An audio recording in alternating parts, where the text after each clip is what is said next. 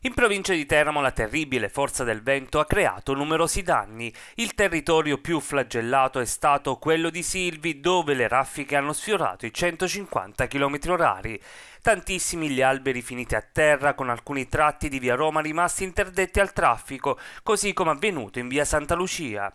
Il vento inoltre ha provocato anche la caduta di alcune lastre di rivestimento della facciata di un hotel, in particolare nella parte in cui si trova un ascensore panoramico. A Silvi Paese danni all'edificio della scuola primaria chiusa dal comune con i bambini portati in altra struttura. Abbiamo avuto una nottata impressionante, difficile, soprattutto per i danni ingenti a, alle le cose, per fortuna non ci sono stati danni alle persone, però naturalmente la popolazione insomma, è stata eh, in difficoltà soprattutto per eh, quello che si è creato, un, un, uragano che ha travolto la nostra cittadina facendo, come ho detto, questi numerosi danni.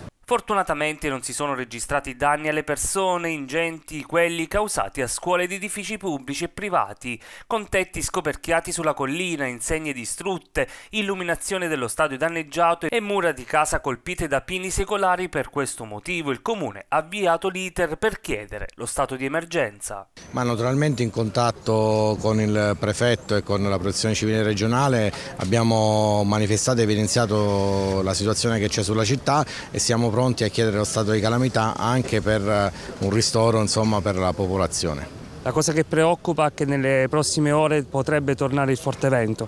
Sì, sì, siamo, diciamo, ci stiamo attivando anche per prevenire questa situazione, abbiamo aperto il COC, stiamo monitorando intanto eh, facendo la conta dei danni, soprattutto le situazioni più critiche, stiamo infatti portando avanti con i nostri tecnici, con le squadre, con gli operai eh, la messa in sicurezza dei tanti cornicioni, eh, alberi che sono caduti e naturalmente abbiamo danni anche alle strutture Ehm, private come ad esempio l'Hotel President che ha perso tutto l'ascensore panoramico di 14 piani eh, che è veramente un danno ingente per la, per la città. Che appello vuole fare ai cittadini?